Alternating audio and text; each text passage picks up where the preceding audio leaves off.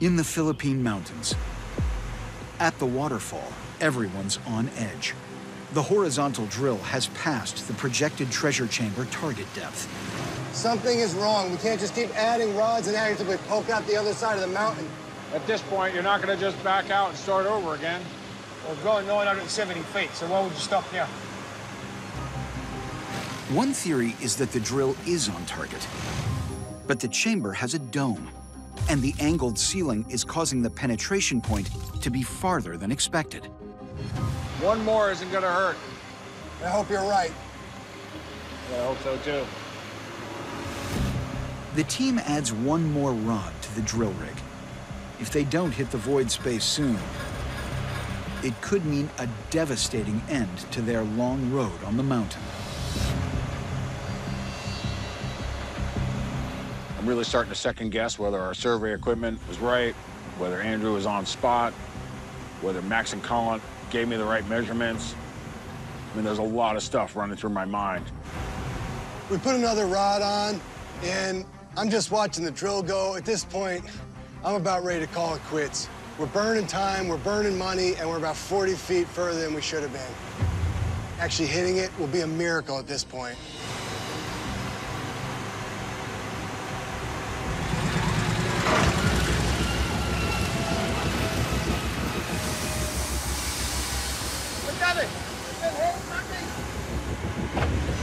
Oh, I don't know what we're in, but something's happened. We've lost circulation. We've hit something, but I'm not sure what it is. The absence of water means they've finally reached a void space. The team is eager to see what's hidden inside. This could be it. Let's get the camera. Let's get it in there ASAP. Andrew steered that drill right on track, and we've punched through now. And I want to see what's in there. We got to shove this camera down there almost a thousand feet. And today, I'm wondering whether I made the right choice or not. I mean, I'm really in anticipation of what I might see in there. We got a long way to shove. 250. 510. To go after a Yamashita treasure and actually be successful, nobody said it was going to be easy, and it never is. You know, it's seriously one of the last great mysteries of the world to be solved. Seeing the treasure, you know, going to be part of history. 775. 900. 70 feet to go. There's the end coming.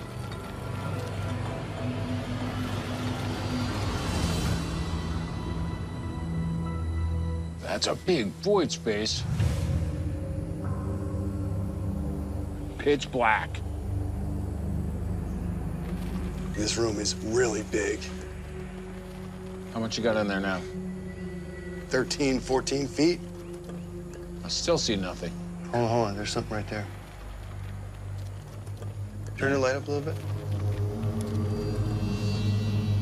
What is that? It's the edge of something. Could be the edge of a box. We're like looking down on the edge of it. What I'm seeing in the camera right now is unmistakably man-made objects. The camera's picking up a smooth, flat surface with squared edges. You know, that's just not uh, natural. What's next to it? Hold on, let me see. It looks like another one laying up against it on the top side. Yeah. Yeah, but it definitely looks like boxes. Yeah, two boxes. You gotta get up here, you gotta see this. What you got? The rest of the team races over to see for themselves. Come on in there, George. Is that what I think it is? I can't believe you guys hit it, man.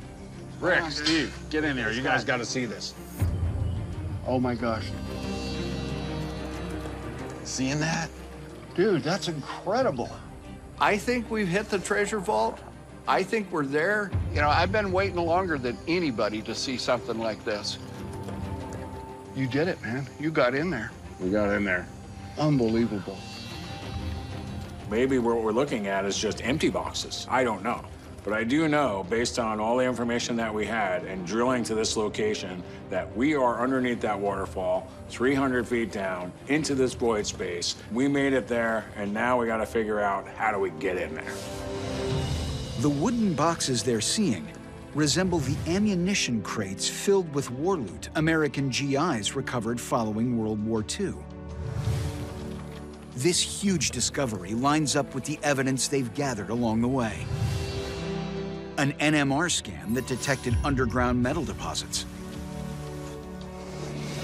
A seismic scan that located a void space 300 feet below the waterfall.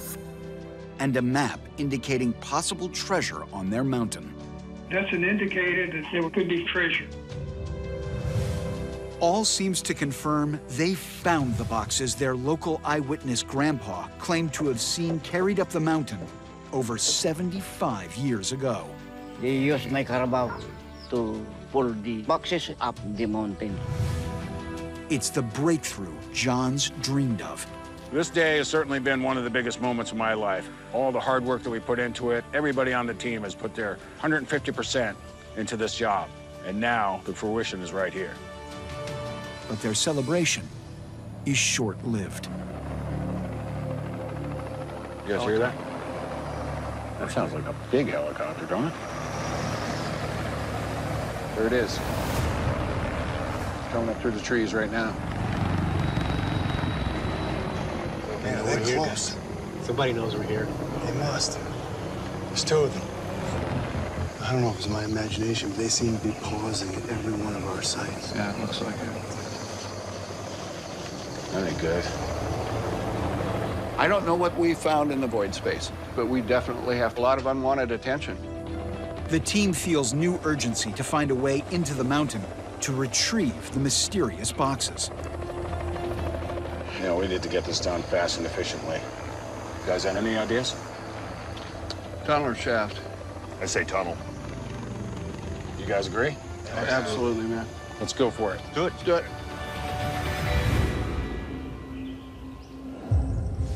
Back at base camp, the team discusses their options. At this point, the best thing we can do is tunnel right into the waterfall. It's gonna take some heavy explosive to do that if we want to get in there quickly. Using the borehole as a guide, Straighten it up a little bit. the plan is to dig a tunnel 930 feet to the void space.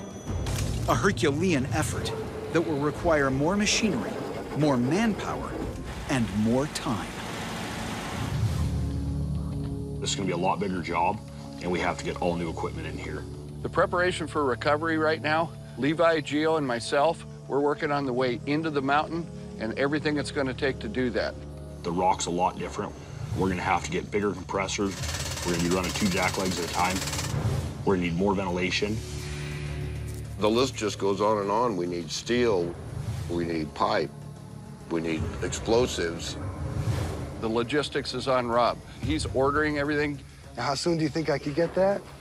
We've been looking for months trying to find a traditional way in, but now we're going to be able to go for it. Since it will take time to assemble the equipment needed to tunnel into the void, John decides to explore alternative sites.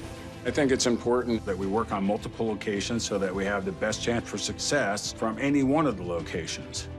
There are a lot of treasures still left here.